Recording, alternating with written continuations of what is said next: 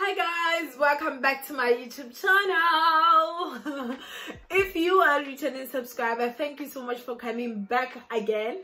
Thank you, I really appreciated you guys. You have been engaging in my previous video, all the beautiful comments, all the likes, all the shares. I really really appreciate it and i don't take any of this for granted.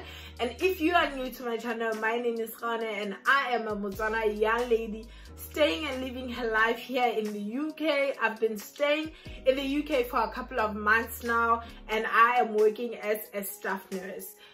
In my channel i share everything about nursing life in the uk nursing internationally travel vlogs interviews, beauty and fashion, and everything that is nice that you may think of. So if that's any of the things that you love, do consider subscribing. Click on the subscribe button below, like, share, comment, and most importantly, click on the notification bell below. Hey!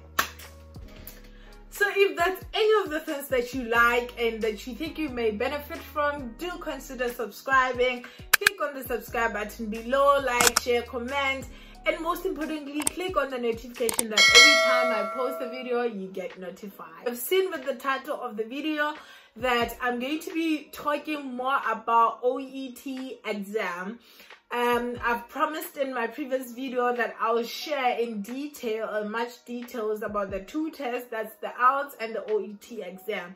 So specifically for this video i'm going to be only talking about the oet that's the occupational english test. So without wasting your time let's get right into the video.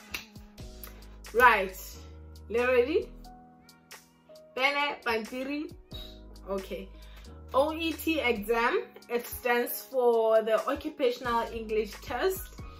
And this is one of the exams that the NMC UK has put out there as a requirement for nurses to write in order for them to join the register, right? To join the NMC UK register. So this exam is there to actually test your English proficiency and is recognized in a couple of countries. I think it's recognized in the UK, in Ireland, in Australia, and I think a few more countries as well. So it's not just recognized here in the UK. So it was created for healthcare professionals, that's the doctors, nurses, dietitians, pharmacists. So the format of this test the test is made of four components. That's the speaking, the listening, the writing, and the reading part. Four components.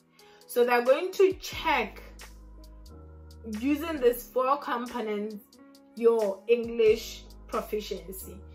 So um, in any of these or in all of this, they use scenarios, I'd say, that suit your scope of practice. So if you are a nurse, they're going to use the the the short story or the the paragraph in a nursing uh, setup or in a nursing, I would say, um, clinical setting, I would say. So if you are a doctor, obviously, ba ba ba ira are more focused into in in in um, practice ya but if you are a nurse it will suit um, your profession or your scope of practice. Four components. Um, so like i mentioned is there to test your english proficiency so in this four components i'll try to go through the four components all together and then just give you a bit of light in these four components. I'll start with the with the listening part. The listening part is actually the first part that you will write in the exam i think. Yes yes. So this listening um exam is made of three parts the, the, the, overall time for the listening test is, is 45 minutes.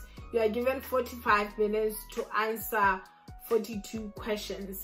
so the first part that is part a part a has i think 25 questions if not 24 25 questions so what happened you listen to a conversation between um, a, do a doctor or uh, you listen to um, a consultation extract between a nurse or a doctor and a patient. So it is more like um, well i've mentioned it uh, like a, con a consultation. You listen to what is being said in that consultation room and then they'll ask you questions afterwards uh, basing on what happened in that scenario. That's the part the first part. That's part a. And then part b is i think you listen to like a handover sort of or a discharge plan kind of conversation and then you answer multiple choice questions that's part b. And then part three part three is more like um um a presentation i would say. A presentation of a condition or something or anything. I guess guys. But yeah language. So part c your presentation. So listening test in the history parts. So you just listen to what is being said read your question and then answer. But you should know that finally those listening comprehensions that we used to do back in i think primary um what happens is waraba audio you answer your questions audio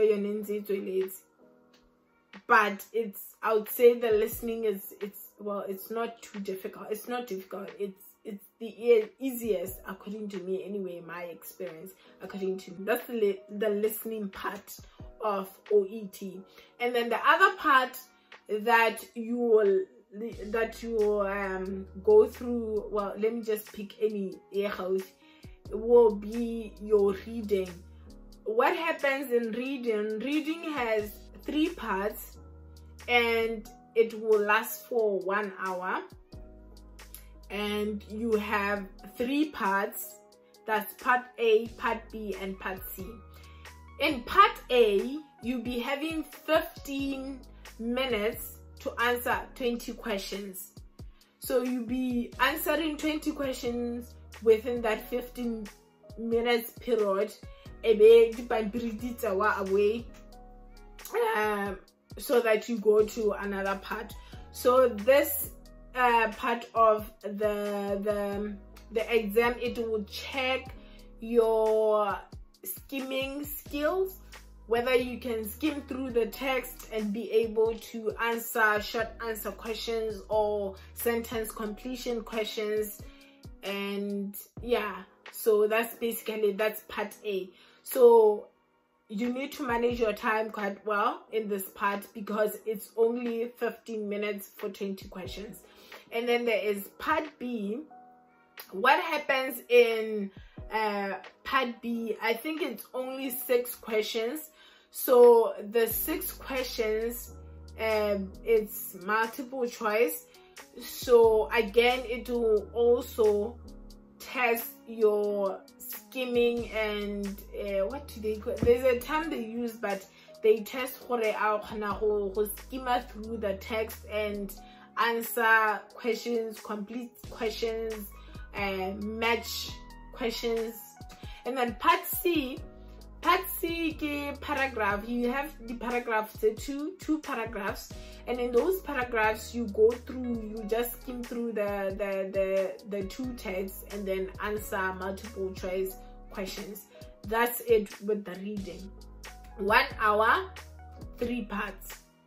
And then you have the writing with the writing you have only one task and it will last for a total time of 45 minutes and it's going to be a writing form task So you either write a transfer letter, you either write a discharge letter in that 45 minutes. That's it with writing. And then speaking. In speaking, you will last 20 minutes, approximately 20 minutes.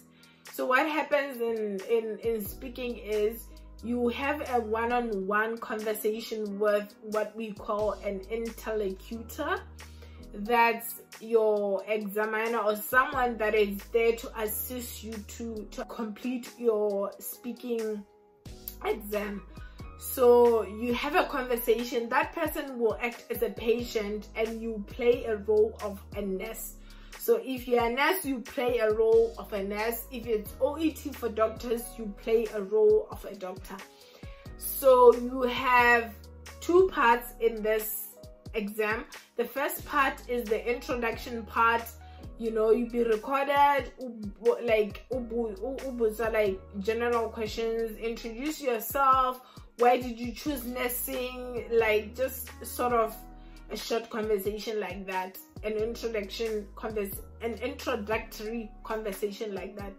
Yeah. And then you go to role plays. You have two role plays. So the role plays, they will consist of clinical situations, um, clinical situations or scenarios, and then you'll be expected to act as a nurse in that situation if that makes sense so that's your speaking test so basically that's like the summary of the oet format OET exam format. Yeah. So we will move on to um,